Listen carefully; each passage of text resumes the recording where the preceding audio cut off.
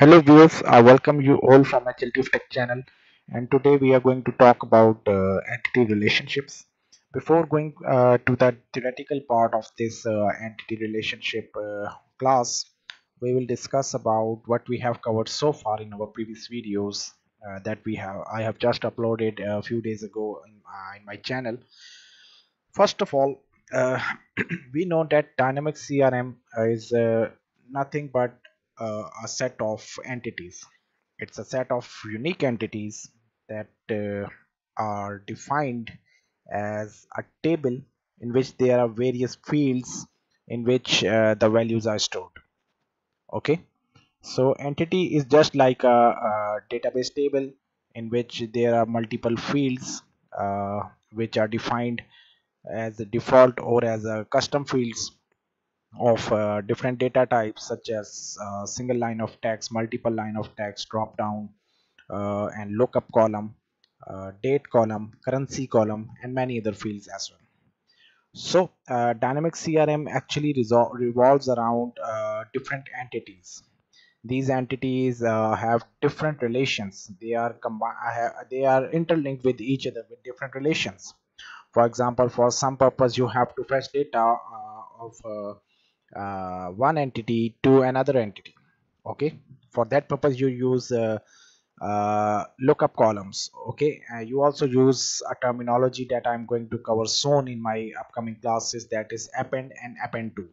That is a very common technology uh, terminology that is used in dynamic crm so after covering the part of uh, what are actually the entities are we have uh, covered them that what are the default entry that that comes under crm as out of the box solution. And we have also discussed about custom entities as well. Okay? So the next topic uh, that we have covered is entity attributes. Okay? Whenever you create an entity by default only one attribute that is uh, usable is created. Whereas many other uh, attributes or fields are created which are used by the dynamic crm for its own calculation and for its own uh, record handling okay? Uh, but there is a one field that is simple line of text that is single line of text uh, which is created by default uh, uh, whenever you create an entity. So there are many other fields that can be created by you and these fields can have different type of data types as specified in dynamic crm after that we covered the security roles because security roles are actually the definitions which are defined in order to make the users access the uh, that particular entity. Okay? So security roles are actually uh, they are default security roles and they are custom security roles which are uh, created by you. There's no need to worry if you are new to this uh, terminologies because I have already uploaded many videos of dynamic CRM on these topics in which I have covered these topics in detail. Uh, so uh, just for now uh, we are going to just have a review of our previous classes and we are going to proceed further because I wish that very soon I uh, upload very uh, advanced topics as well. So uh, security roles are actually the definitions which are defined in order to link the users with it link the users or teams with it uh, to access any resource or entities okay? So after covering the security roles we covered an important point that was field security profiles that was the previous video that i have just uploaded uh, two or three days ago. Uh, field security profile is a, a terminology or a feature of uh, dynamic crm that is used to define custom uh, permissions for particular team or user for particular attribute within an entity. Okay? For example there is one field which i want that only particular users of the team can have an access of viewing that data of that field whereas the remaining users may not see should not see uh, that data for that purpose i use the field security profiles okay? So these were the topics that we have covered so far. If you are a new vis visitor of my channel or this video i request you to go to my previous uh, channel list and uh, video list and you can get all the videos there easily. And also subscribe my channel so that you may uh, continue enjoying watching more videos. Now if we cover uh, if we go to uh, entity relationships now just as you have told that dynamic crm is actually the collection of entities. These entities uh, are for some purpose dependent on each other or with among each other. Okay? There can be more than one or uh, there can be more than two entities that are interdependent on uh, one another. And for that purpose uh, we use the entity relationship terminologies. Okay?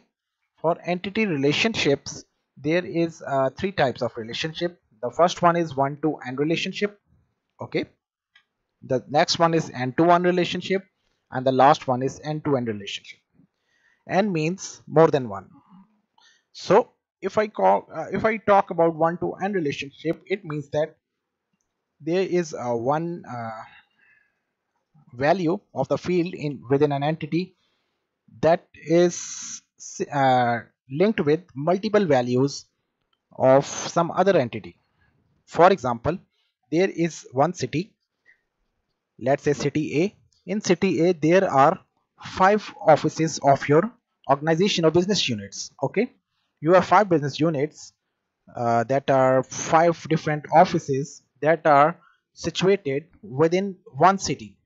It means that there is one city but it has multiple offices okay? And if we talk about n to one relationship it means that there are uh, there is a head office okay? There is a head office that is uh, situated in one uh, that is situated in every city. There are multiple cities and every city has a unique head office. Or we can uh, take any other example. There are numerous examples of n-to-one relationship. It means that uh, multiple values have are linked with one uh, value with an other entity field. For example there are multiple patients that are directed to one particular doctor. All the patients that are coming for some particular uh, disease are directed to only one particular doctor. This is another example. So you can take many examples as uh, you like. Now the next one is that n-to-n -end relationship. You have multiple doctors and multiple patients of various diseases. So you mark them n-to-n for example there is a burden uh, let's take another example there are production units. Okay these are production units of your organization and there are multiple orders that are coming. These orders are uh, different in nature and now you want that all uh, these products uh, orders that are coming from your customers may be distributed to uh, your production units. So you assign multiple projects multiple orders to multiple product uh, uh, multiple production units. That is an n-to-one n-to-n relationship. So these three types of relationships are commonly used in uh, crm among the entities or to interlink or to uh, link or to create a relation between uh, multiple entities.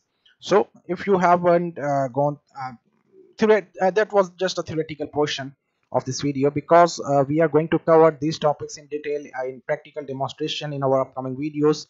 Uh, very soon i'm going to upload separate videos for one-to-one relationship separate video for n-to-one relationship and a separate uh, uh, video for n-to-n relationship. For up till now if we see here we go to dynamic crm and here if we go into settings and customizations uh, customize the system here you can see that these are a set of entities. These are all entities.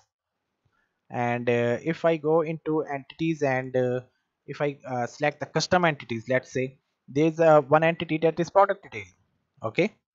If we uh, search it here you can easily find out uh, it here p in alphabetically order that is product detail.